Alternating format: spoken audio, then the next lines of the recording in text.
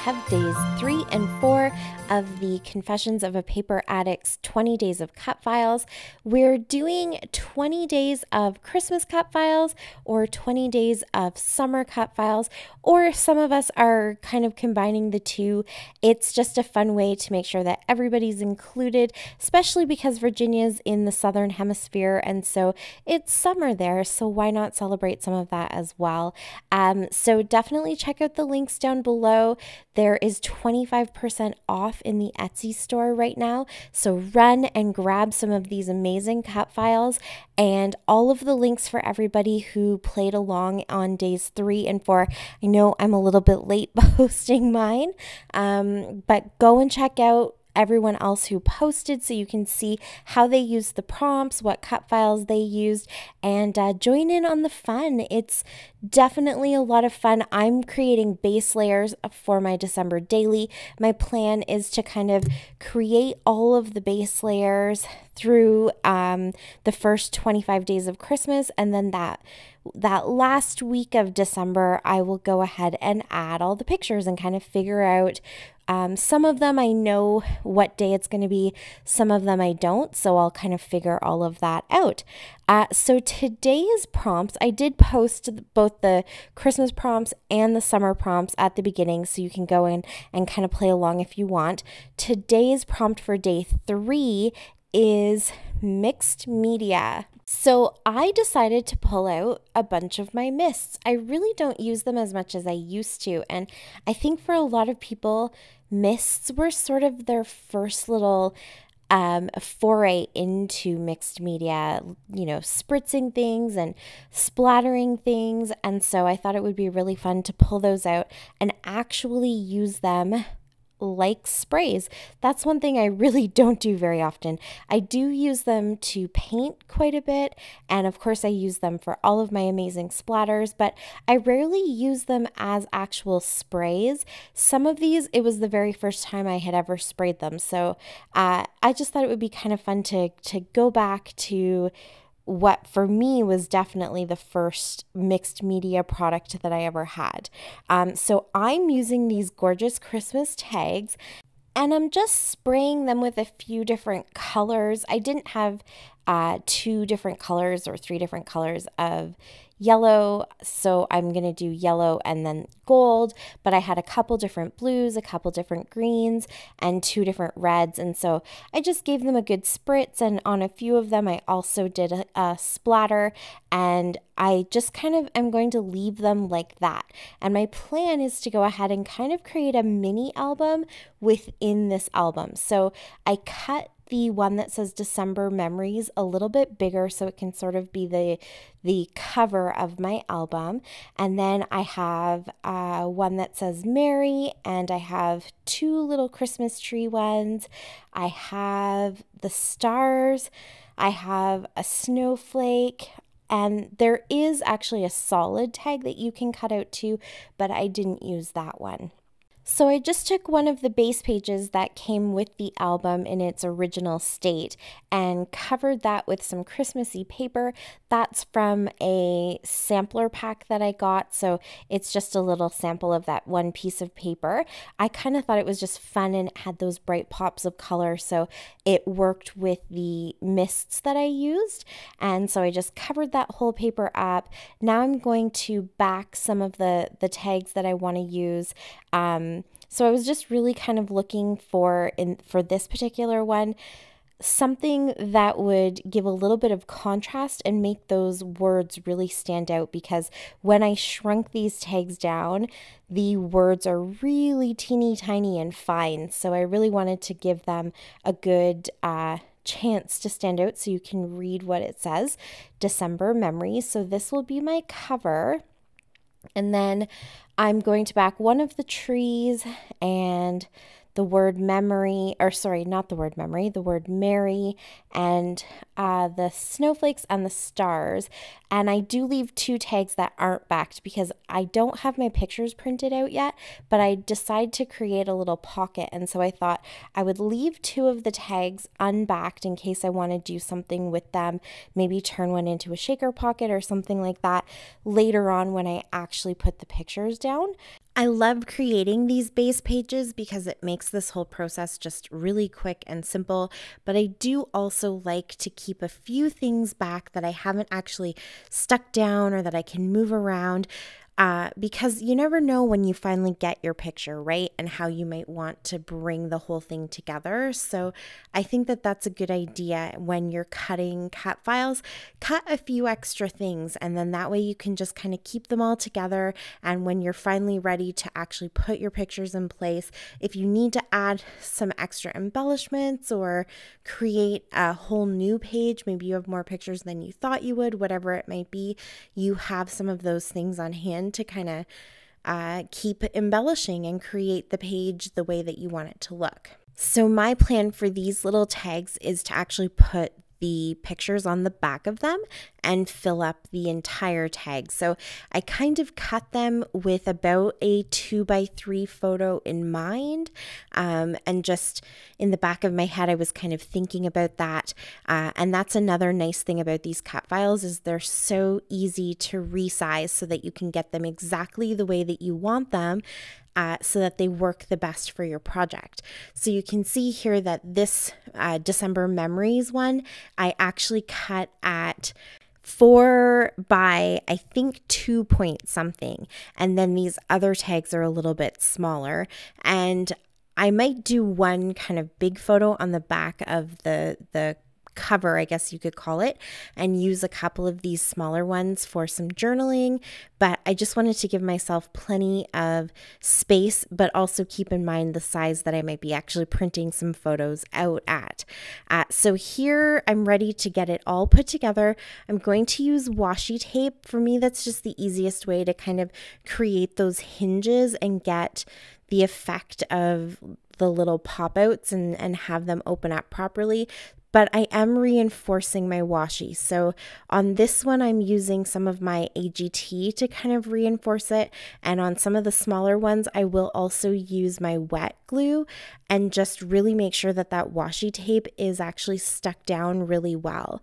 The washi tape will end up being covered over once the pictures are in. So it didn't really matter what washi tape I used.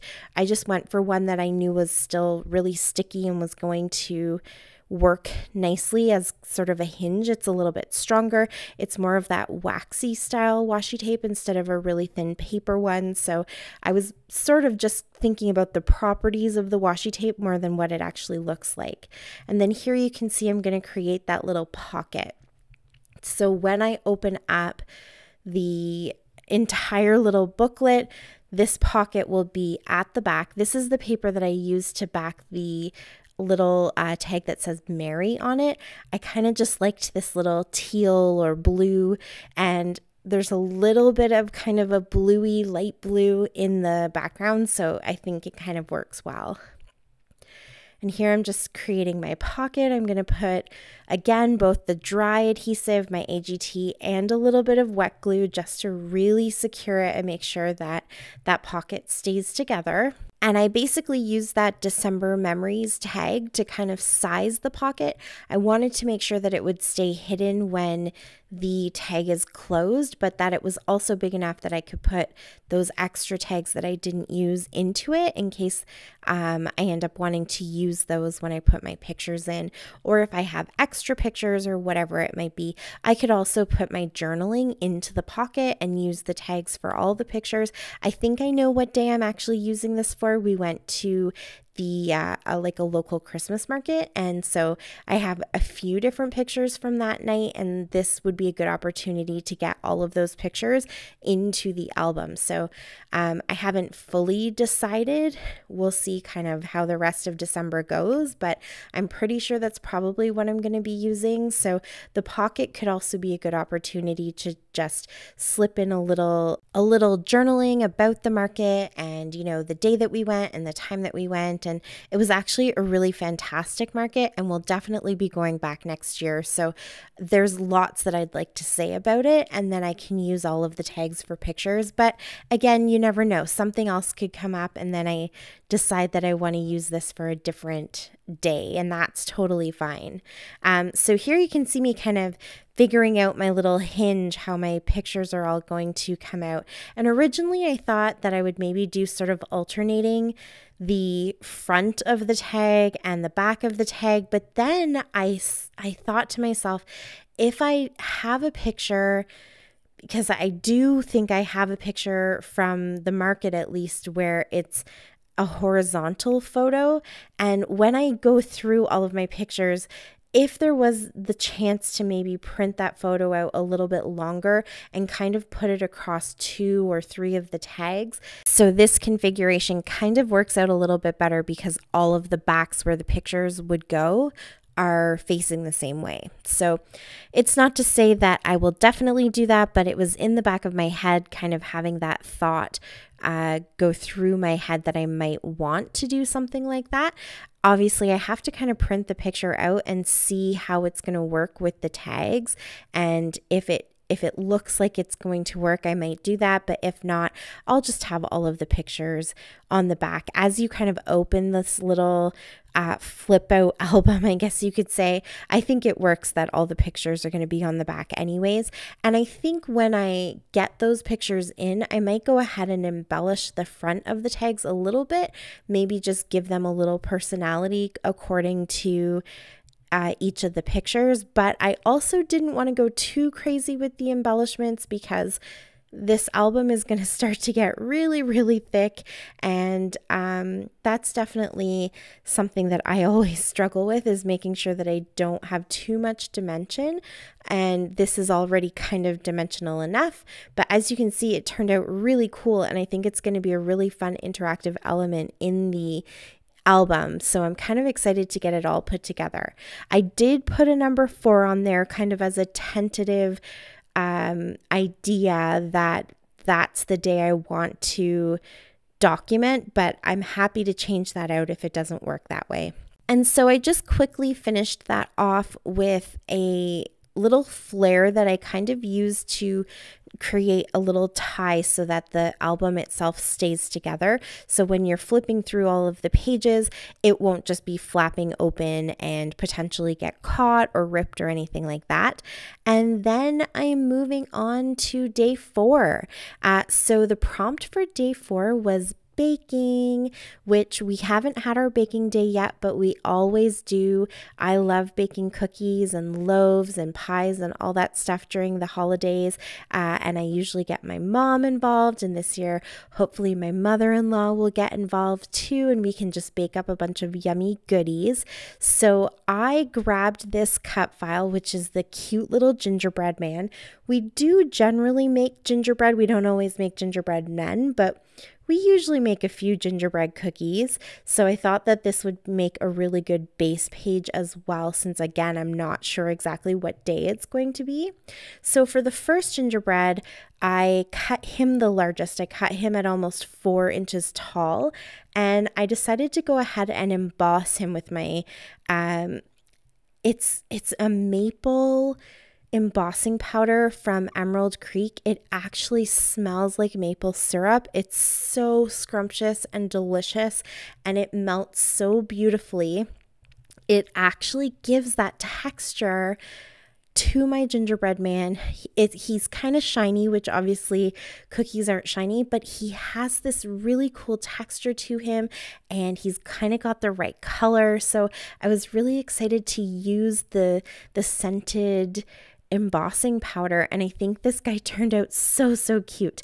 Uh, but I wanted to try a couple other techniques too. So my two big gingerbread men are done differently. And I think that that's okay. I kind of like that this gave me the opportunity to experiment a little bit and play around and see what I could do with these different cut files. So once he was all dry, I went ahead and took a little bit of acrylic paint. I can't find my white puffy paint and I couldn't find any puffy paint at Walmart, Dollar Tree, none of them. I, obviously, people are crafting up a storm right now, and so the paint is out. Um, but I did take my acrylic paint and I went ahead and I painted over all those little spots in the cut file where the little kind of icing has been cut out. So there's white there. And then I do have some cute little dollar glitter paints, just the squeezy glitter tubes. I've got nieces that love crafting, and so I definitely kind of keep that stuff on hand. And I just pulled out the clear one. So it's a little bit glittery, but it doesn't really have a color to it. And I went over those uh, little spots of icing just to give it some dimension. So here he's got some little black glitter eyes and then um, his little icing, and then I pop two buttons uh, red buttons where his buttons are. So he's all done. He looks so cute. Uh, so I'm going to go ahead and stick him down. I'm using my AGT to kind of stick him down, and then I do go back in with the um, Scotch tacky glue and just give him a lot of security, especially where the little icing, because it's kind of notched out, it's cut out. I wanted to make sure that the tips of his hands and his feet are glued down really, really well so they don't get caught in the album. And then here you can see my other cute little cookie. I went ahead and used watercolors to paint him. And now I'm going to go back in with that acrylic paint and I'm kind of giving him a bit of a base coat with the paint and then I'm going back in really thick. So it actually adds some dimension and looks a little bit more like icing. And I'm not being perfect. I want it to kind of look like it's been piped and not necessarily painted on. Um, so I'm, I'm intentionally being really thick and I'm intentionally kind of having some spots that are a little bit more gloopy and thick and inconsistent and some spots that aren't. And look how he just pops to life once those white lines come into play. Now, I stuck him down first because I actually wanted to uh, fill in the, the gap where it was cut. So that's kind of what I was doing. So I filled in those buttons. They're a little bit dimensional. I filled in all the little cuts where the icing would be. And I did actually take that white paint and go around the edges of the other one as well. I figured if I was going to do it for the one little cookie, I might as well go ahead and do it for the other one. And I just think it adds that extra touch of realism, and I love how they turned out. So now to create my title, I felt like I needed them to have a little baking pan. So I grabbed some gray cardstock and then I grabbed some silver paint, some white paint, and I did use a little bit of that glitter, uh, sort of that tinsel dark gray glitter glue as well. And I just dabbed it with um, a Ziploc bag. Actually, they're from IKEA. Um, they're fantastic bags if you ever buy them at IKEA. You can use them over and over again, um, not just for crafting, but for snacks as well. Um, but I just kind of crumpled it up and dabbed the paint on so it's a little bit imperfect and it looks like metal. I think it worked out really, really well. I kind of took it from how you would create. Um, a galvanized look if you were taking, say, like a plastic bucket from Dollar Tree and you wanted to turn it into something that looked galvanized. It's basically the same concept. I just didn't use as much of the dark color or the white. And then I just popped the title onto their baking day. And for the background of that card, I decided to create a little pocket with that gingerbread paper, the gingerbread cookie paper, and that's where my pictures and my journaling will go. And that is it for day three and four. Thank you so, so much for watching. I really appreciate it. Please go and check out all the links below for Confessions of a Paper Addict's Etsy shop and also everyone who's been playing along. And until tomorrow, happy scrapping. Bye.